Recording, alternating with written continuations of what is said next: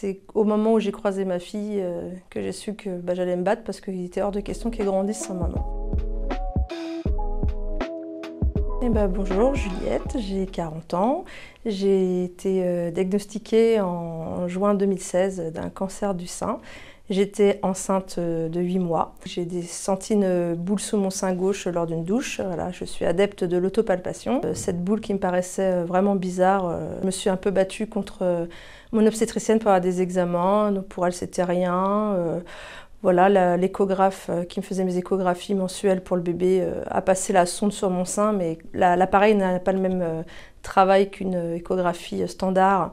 Elle m'a quand même conseillé de, faire des examens. L'obstétricienne m'a pas franchement écouté, personne m'écoutait. Et un jour, euh, pour un renouvellement d'un traitement euh, classique, euh, la, remplaçante de, de mon médecin traitant m'a écouté et m'a dit écoutez, moi, les femmes, je suis camerounaise et dans notre pays, beaucoup de femmes ont des pathologies pendant la grossesse. Je ne vais pas vous laisser dans le doute et on va faire une échographie, une biopsie s'il faut.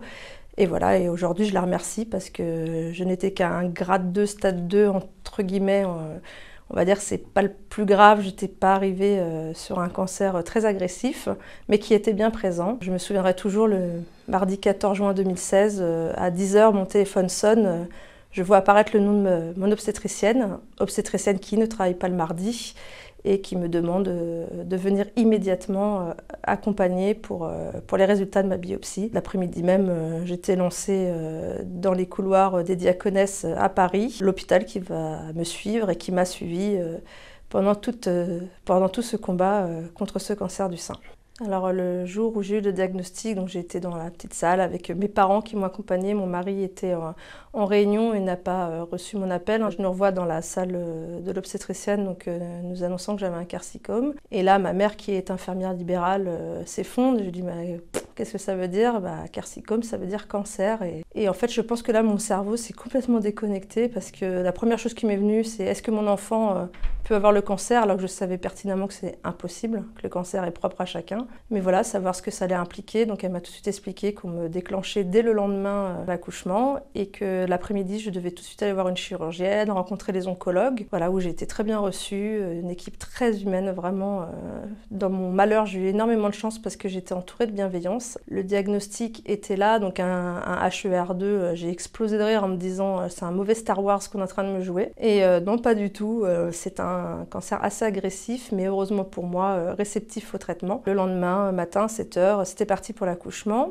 Accouchement qui durera 3 jours. Ça, c'est un petit euh, message pour euh, les médecins. Si quand les gens vous disent qu'ils veulent bien une césarienne, s'il vous plaît, faites-leur, parce que j'ai failli partir, j'ai failli perdre ma fille qui était très fatiguée par ces trois jours et ces deux tampons hormonaux. Il était 20h, 20h10, la salle était prête, 20h13, j'entendais les premier cri de mon bébé, euh, plus belle petite chose au monde. Le regard, les regards se sont croisés, euh, c'était magique. Et là, euh, en fait, je crois qu'on s'en fiche complètement de sa maladie parce que je suis complètement tombée sous le charme de mon enfant. On a donc passé une semaine entière à la maternité.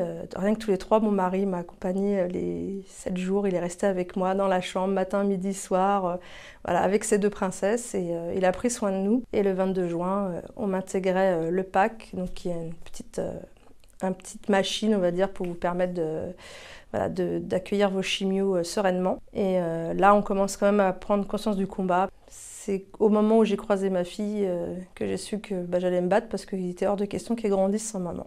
Alors comment ça se passe quand on débute un traitement lourd avec un, un nouveau-né? Bah, Moi j'ai une grande chance, donc ma maman était infirmière libérale, elle venait juste d'être à la retraite.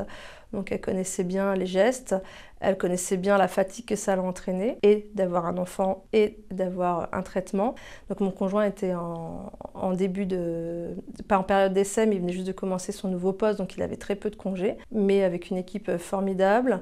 Donc il a fait son congé paternité avec nous et puis quand il est parti, euh, mes parents ont pris la relève. Donc à chaque grosse chimiothérapie, à chaque opération, euh, je dormais chez mes parents euh, les 3-4 jours qui suivaient, puis on retournait chez nous on s'est mis en place euh, un relais familial en fait. tout de suite, les médecins m'ont dit on vous prévient, un nouveau-né, un cancer à traiter, on ne travaille pas. Donc ils m'ont arrêté immédiatement. Administrativement parlant, il n'y avait rien pour les conjoints à l'époque. Je crois que maintenant, ils ont le droit de s'arrêter pour, euh, dans leur rôle d'aidant.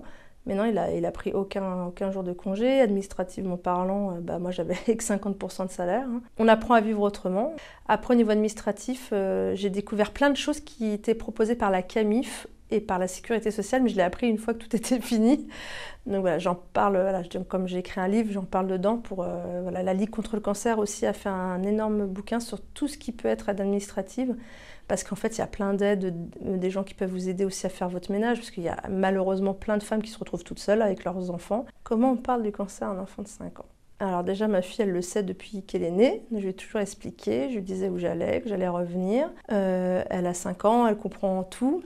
Et ça fait à peu près 3 ans que je suis bien engagée dans des, euh, dans des stands de prévention où j'ai un faux sein avec, une avec trois pathologies dedans, dont une tumeur, pour expliquer aux femmes l'autopalpation et à quoi ressemble une tumeur. Donc ma fille, elle s'amuse avec ce sein, elle sait ce que c'est qu'un cancer, elle sait qu'on peut en mourir, parce que malheureusement, on a une amie qui, enceinte, a eu la même chose que moi, elle euh, nous a quittés l'année dernière. Moi, après, je lui ai toujours expliqué, à chaque rendez-vous, je lui disais, c'est bon, maman, tout va bien, c'est bon, maman, elle est en pleine forme. Je, voilà. je lui ai surtout expliqué que moi, mon cancer se soignait se guérissait et ça elle avait trois ans. Mais après je trouve que c'est propre à chacun. Euh. En fait moi mon cancer c'est pas un tabou, je l'ai pas voulu, j'y suis pour rien, c'est pas une honte. Voilà, je veux pas lui faire croire qu'il euh, y a des sujets qui ne peuvent pas être abordés dans, au sein de la famille. Ça se soigne et c'est surtout qu'on est en France. Quoi. Je veux dire, on est en France, on est soigné, on est suivi. Et j'ai trouvé les mots euh, tout simples, avec, aussi avec des livres. La médiathèque, j'avais cherché, j'ai demandé des livres qui expliquent la maladie aux enfants. le but, c'est pas non plus de la traumatiser. on lui explique bien que c'est pas parce que maman en a eu un qu'elle en aura un ou que quelqu'un d'autre peut en avoir. Tout le monde n'a pas un cancer et il faut pas non plus angoisser, mais prévenir. Alors quand on a un diagnostic de cancer, on nous fait rencontrer un oncologue en fertilité voilà, qui va euh, expliquer euh, toutes les possibilités euh, de comment conserver ses ovules, comment refaire une aide médicalisée. et ça en fait, il faut savoir, c'est un droit. J'ai rencontré plein de femmes à qui, qui n'ont jamais, jamais rencontré d'oncologue en fertilité et qui auraient pu avoir des enfants. Mais c'était, voilà, l'hôpital ne le proposait pas, ou j'ai rencontré des femmes qui sont même pas au courant. Euh, c'est pas parce qu'on était malade qu'on n'a pas le droit d'avoir un enfant, et c'est pas parce qu'on est malade une fois qu'on va récidiver forcément. Quand le cancer s'impose en pleine grossesse. Bon, à la base, je vous l'appelle Nous ne t'avions pas invité. voilà. Donc, il est aux éditions L'Armatan. Et sachant que si j'arrive à en vendre euh, et à faire des bénéfices, il est bien évident que ce sera pour euh, la recherche contre le cancer. Bah, la vie est belle. Alors, il faut s'accrocher, il faut se battre et il faut se faire entendre.